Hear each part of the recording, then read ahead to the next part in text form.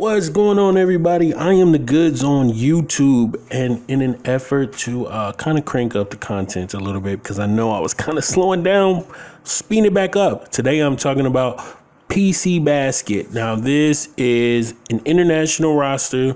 It's a roster mod, so there's going to be art files that you need to add on but it is only for PC. But I will say, if you have 2K20 on PC, this is 2K20. But let me let me stop you before you click off of this video. This mod is incredible. Just speaking to um, the amount of sheer content within this mod in itself is incredible. Now, this roster has been done before. The creator is Shuajota. Shuahota, Shuajota. I always go back and forth with that. But anyway, that's the creator. You guys can go shuajota.com. Um, and he's always housing mods and, um, you know, making mods available for the community. But I met Shuajota on NLSC. Uh, I met him way uh, I don't know. I think it was 2K17, maybe. Maybe it was 2K16. Don't remember. But he was making some horrible faces. But I do want to say, I was encouraged by his horrible faces because I was like, this is good. This is what we need in this community. We need people that actually are excited to create mods. And what do you know? A few years later, he is actually one of the most recognizable names in the PC modding community. Um, a lot of people know who he is. A lot of people know he creates cyber faces, and he created a ton of cyber faces that you are going to see in this video. I mean, hundreds of cyber faces. And so yesterday I was playing this mod, and I was just like, man, this is this is it. If you want to have now. Forget about that TNT scoreboard. I didn't even bother checking to see if I had the correct scoreboard. And the EuroLeague the EuroLeague scoreboard for this mod actually looks way better, way better than that TNT scoreboard, in my opinion. But anyway, uh, I was going through the rosters and I was like, oh my God, look at this. This guy's going to be playing for Denver this year. Oh my God, they got Jeffery Taylor. Jeffery Taylor, I used to play with him in my uh, association. Uh, in my association with the Charlotte Bobcats back in 2K13, like I made him become a star. He was like my second star on the Charlotte Bobcats. But um, Rudy Fernandez, one of my favorite players back when he played for the Blazers.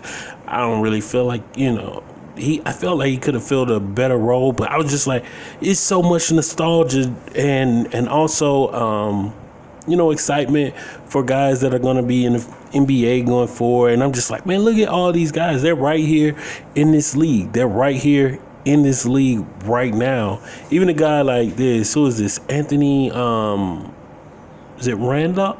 Randolph, Anthony Randolph, something like that. I think that's his name. But um, he used to be like back in 2K12. Um, he would always become like a super stud because he had he had high potential. So whenever you were playing like the franchise mode, which back then was association, he would always become like not always, but most of the time he would become a stud. But anyway, this roster has so so so so many teams, and I think I don't even think I updated it all the way to version 2.0 on my end, which I need to do.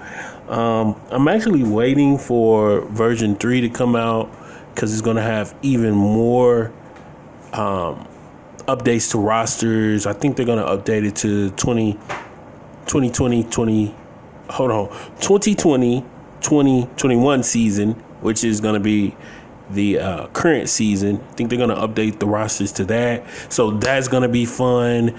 Um, man, this is just a mod and a roster that you guys have to check out. But anyway, getting back to Shuajota, yeah, like that guy, uh, I'm just glad he stuck with it.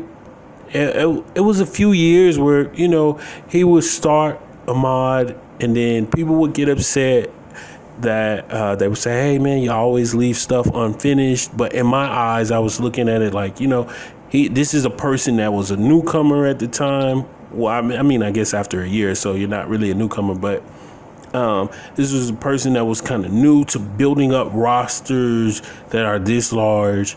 And I was just like, man, this person is putting forth the effort. And I really appreciate you, Jojo, because I really appreciate him because he just kept sticking with it no matter what people were saying about him, no matter the disputes he was having.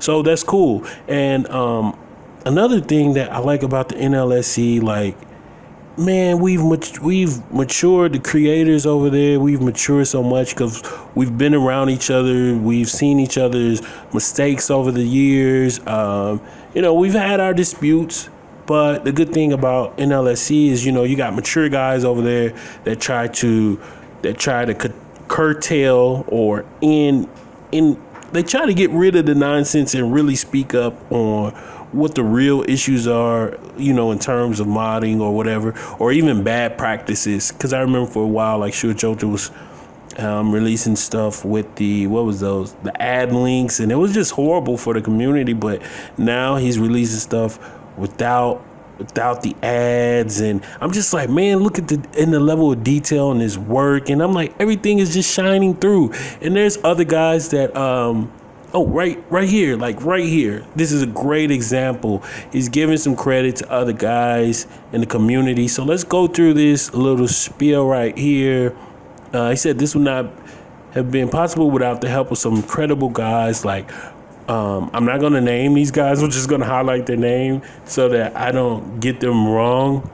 And um, you guys can see on your screen. But anyway, he even he even gives me a shout out, um, which I'm very thankful for. But right here, he's he said I um, he said I inspired him to begin designing renders, and that was the story I was telling you guys earlier. Monkey Man, Greg K. Waste, Twist, D for three, all these names of all these people, um, and I think most of these people, even the guys that were named earlier, like most of us, we kind of it kind of um, hang around the NLSC, even though there are other great modding sites, kind of like Shuajota.com, where you can get, get mods. And then there's other places like 2krosters.com, which is more than just PC stuff, it's all consoles and PC. And then there's places like uh, the Modding Society. These are great places to cultivate. Um, I guess cultivate creativity and get with other guys that or other guys or gals, our peers, and just kind of release and express our creativeness and then work together and come out with something like this. Not for profit though. This stuff isn't for profit. That's the crazy thing about this, and that's one of the reasons why I'm excited about this. Plus, the biggest reason why I'm excited about this roster, which has been out for a while, is just it's just the fact that it's international rosters. Like I don't think uh, ever since 2K took out the EuroLeague teams, which I think they did, I don't think they really tried hard at all with the EuroLeague teams when they were in. But ever since they took them out, I mean, I don't think people really say much about the EuroLeague teams because I mean the game is NBA based. But I would like to see more channels and stuff do series about uh, EuroLeague players. And of course, you can't do that with like my team content and park content. You kind of got to do it with the franchise mode, my league and my NBA. But anyway, this is a great mod. You guys definitely should check out this mod. I'm, I've probably just been rambling on, but proud of Shuajota coming this far and being able to do this with this roster. I'm proud of that whole team. You guys have done amazing work. I'll be waiting for version 3.0. I'm out, guys.